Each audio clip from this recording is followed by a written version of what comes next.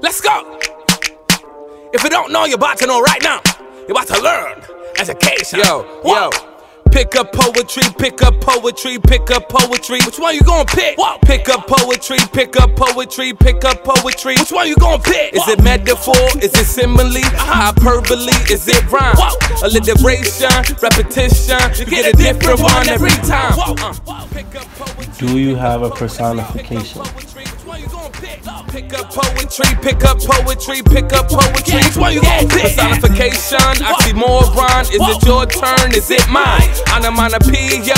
You need to make sure you get all five. Uh, I'ma pick one person to ask for a card that's in my hand. Like, do you have a simile? You look like you have if so, you have to give it to me. No matter if it's one to four, the rules say you gotta give me the more. Let's So go. check your hand if it's a card you don't see. Tell me, pick up poetry. Hey, pick up poetry, pick up poetry, pick up poetry. Which one you gonna pick? Pick up poetry, pick up poetry, pick up poetry. Which one you Do you got an onomatopoeia? goes first? Let's go. Pick up poetry. Five cards. got five. When it's your turn, you can ask. Yeah. We're gon' win clockwise. To the left. If you get five of one card, Whoa, whoa. That means one score. One point If you run out of five cards, you pick up five more. Hope Yeah, and by the end of the game, who's ever's in the lead? Let's go.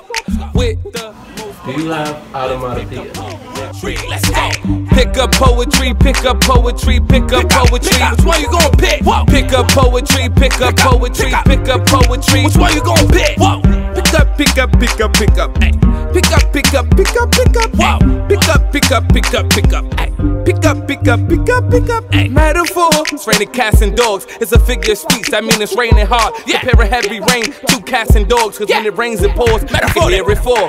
Simile. You're bright like the sun. It's a figure of speech. Means you're intelligent. Comparing you to the brightness of the sun. Using like a rasp to connect the points. Hyperbole. Got tons of homework. It's a figure of speech about my work to complete. I'm exaggerating, see, don't take it literally. No, no. 2,000 pounds of work is too much for me. Rhyme. I'ma pass every class. Every day I'll get an A. I'ma smile for a while. A rhyme is when the sounds of the word correspond at the ending of the word Or with the ending of the line. Let's go. I write with my red pen while reading rhetoric rigorously.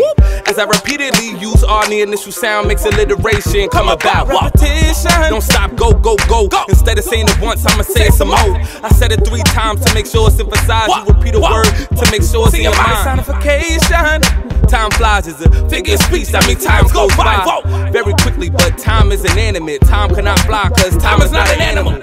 All human, so flying does not fix it. Time flies is a human characteristic. Oxymoron. Jumbo shrimp is a figure of speech that make opposites complete. Look, what jumbo shrimp does is cross the line. They put big and little together at the same time because jumbo is big and shrimp is little. Put them in the same sentence. That is a contradiction. Onomatopoeia. Boom.